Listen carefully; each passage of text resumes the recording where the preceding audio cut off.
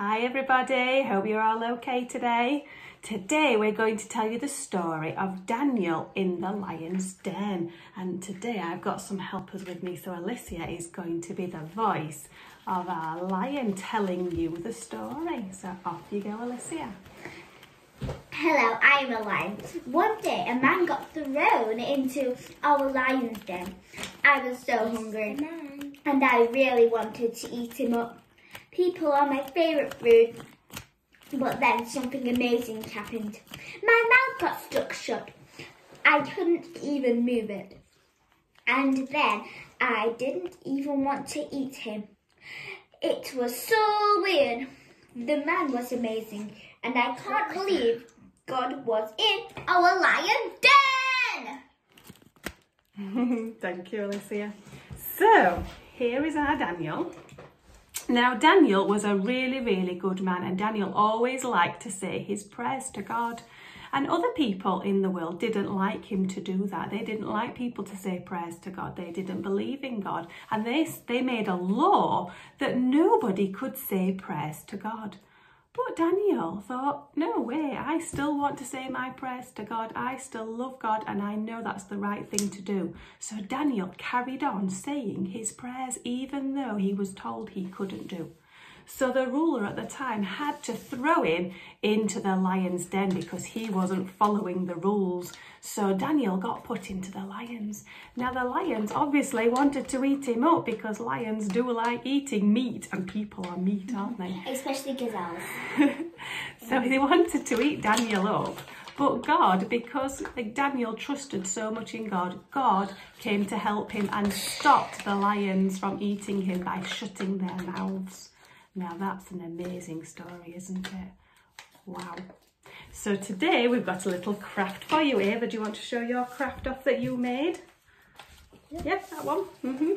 So Ava made a lion like this, like the one in the lion's den. But show what it does. Show everyone what it does. That's the lion with its mouth open, trying to eat Daniel. But then God closed the lion's mouth and sealed it closed like that. So you can have a go making this one. You can print this little template off and then what you need to do then is colour it in and cut it out and then I'm sure your mummy or daddy can help you make a little fold to close that lion's mouth. And like open one. it. And open it again when Daniel's gone. Or you, you could say a little word in its mouth if you want. You could and say rah. You could say rah, but then God closes the lion's mouth. Just like that. Right then, I think the song we're going to sing today is My God is so big, so strong and so mighty because there's nothing that God he cannot do. Just like closing a lion's mouth to help out Daniel. Okay, ready then girls, you're going to help me? Yes. Ready? My God is so big, so strong and so mighty, there's nothing that he cannot do.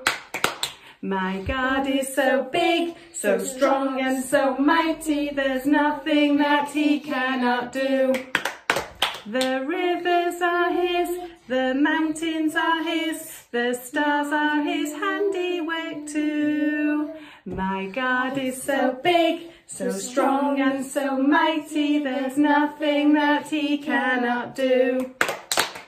Well done, everybody. Right then, let's get our cross for our prayer. Okay, we ready, everyone, to say our prayers to God? Thank you, God, for helping Daniel when he needed you, and help us to trust in you just like Daniel did. Amen. There we go. Thank you, God, for not letting Daniel not get turtle eaten. Amen. Amen. What do you want today? Yep. Thank you, God, for all that he had created and thank you for letting Daniel not be eaten. And he's the, will only, well, in that time, he was the only one that did prayer, so he, the only one that did the right. Oh, Amen. I've put a little link on as well onto the website so you can watch a little video of Daniel in the Lion's Den as well. So if you want to click on that video, you can watch that too. Okay, everyone, bye. bye. Have a lovely day.